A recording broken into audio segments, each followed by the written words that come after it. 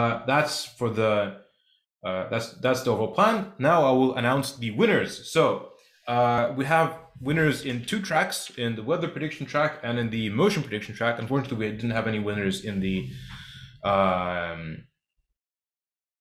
in the machine translation track for for reasons, I guess. Uh, but anyways, without further ado, uh, first place in weather weather prediction track goes to Ivan Bondarenko from uh, Novosibirsk State University. So big thanks to him. Applause. Um, second place goes to Stepan Andreev from from EO Labs, uh, Team Kabian Weather. Uh, and third place goes to KDDI Research uh, from Kyoto uh, with uh, Ryoichi Kojima, Roberto Legaspi, Guillaume uh, Habault, and Shinya Wada. So big thanks to them as well. Um, now, first place in motion prediction track goes to Alexei Postnikov from Sberbank Robotics Laboratory. Second place goes to Alexei Pustinnikov and Dmitry Yeremeyev from VTB Bank and Rosgosstrakh. Uh, third place goes to uh, Zheng Qingyu, Li uh, Poshao, and Liu Yujia. I'm sorry if I completely garbaged your names uh, in terms of pronunciation.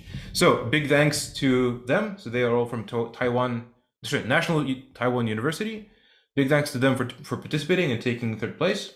Um, and finally, we've got a notable mention. So uh, the home team uh, achieved a very high score, but unfortunately, we couldn't verify their solution uh, for various legal reasons.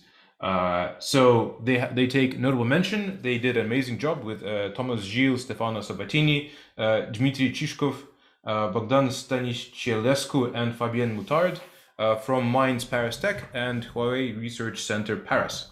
So big thanks to all of our winners. Um, yeah, that's that's mostly there. They'll like they'll present their solutions at the poster sessions. I won't spoil the fun and goodness. So make sure to go to the poster sessions.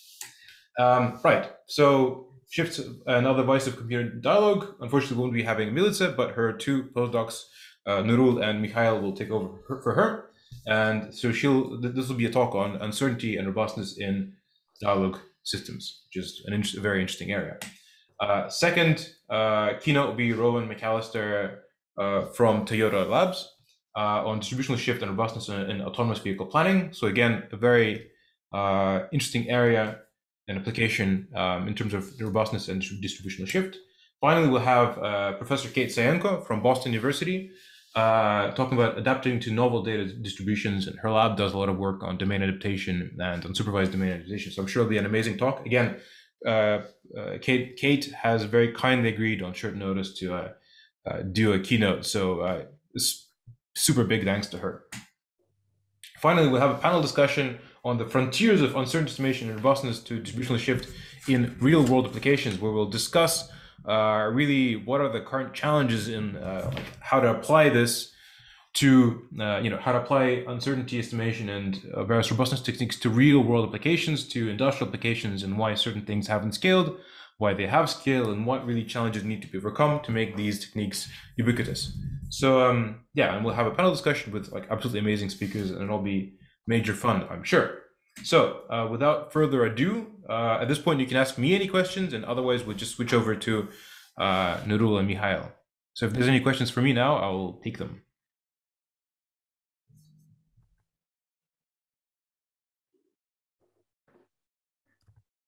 Um, I have a quick question. Uh, I was just wondering about the, the machine translation um, um, competition. Is there any particular reason why did you have any um, uh, any submissions?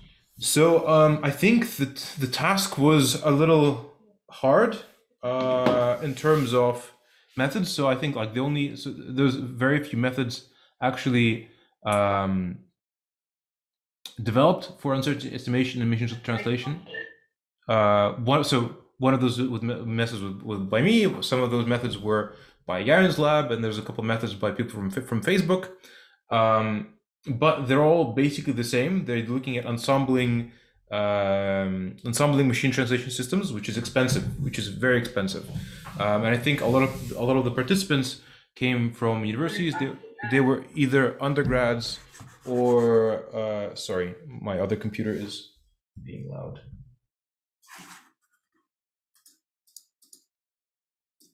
Yeah, sorry for that.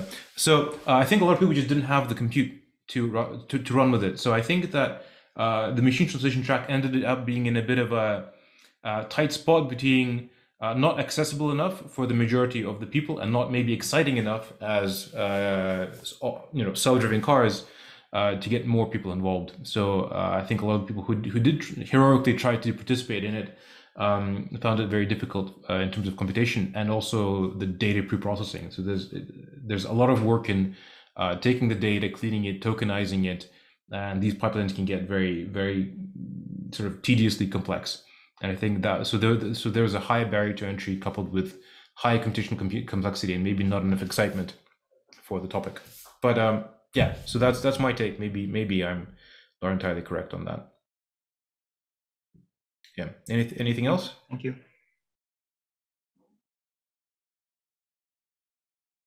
Recording in Cool. Uh, right. So if, if, if there's nothing else, let's just uh, switch over to Nurul and Mikhail with the first keynote.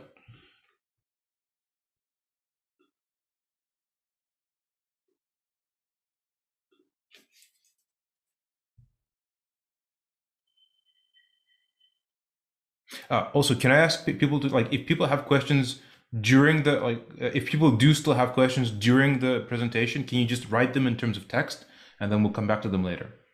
Thank you. Okay. Okay. Can everyone see the screen now? Hello? Yep, I see your screen. Okay. Yes, we see it. Okay.